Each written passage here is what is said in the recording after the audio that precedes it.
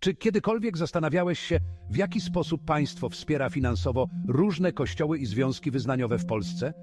Odpowiedź znajdziemy w Funduszu Kościelnym, który działa nieprzerwanie od roku 1950. W dzisiejszym filmie dowiesz się, dlaczego ten fundusz powstał, jak działa i dlaczego jego funkcjonowanie wywołuje tyle emocji. Fundusz Kościelny został utworzony tuż po II wojnie światowej jako forma rekompensaty za przejęte przez państwo majątki kościelne. W zamian za zabrane nieruchomości państwo zobowiązało się wspierać działalność Kościoła i innych związków wyznaniowych.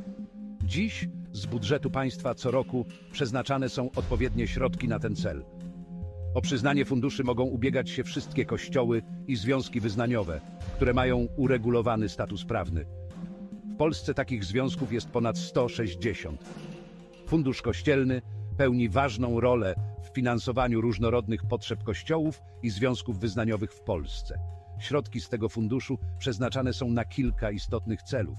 Przede wszystkim wspierają remonty i konserwację zabytkowych budynków sakralnych, co pozwala zachować ważne dziedzictwo kulturowe. Ponadto fundusz zapewnia ubezpieczenie zdrowotne i emerytalne dla duchownych, co gwarantuje im opiekę zdrowotną oraz świadczenia na starość. Oprócz tego finansowane są różnego rodzaju działania charytatywne, które kościoły prowadzą na rzecz potrzebujących, a także programy oświatowo-wychowawcze mające na celu edukację dzieci i młodzieży.